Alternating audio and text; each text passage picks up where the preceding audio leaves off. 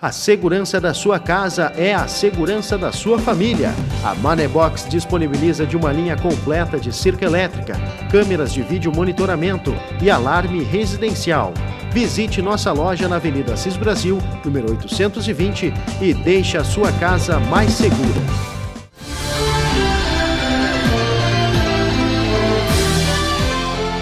Entramos mais um verão e as sangas de Tapes continuam acusando as manchas da poluição negra que deixam parte da água preta como petróleo e com cheiro insuportável.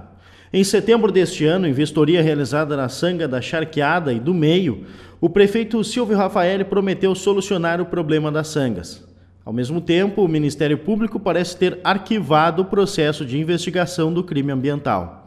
Enquanto os entes públicos não tomam suas devidas responsabilidades, os moradores das regiões próximas aos dois afluentes seguem suportando o cheiro e convivendo com descaso ao meio ambiente que atinge além dos bairros toda a orla de Tapes.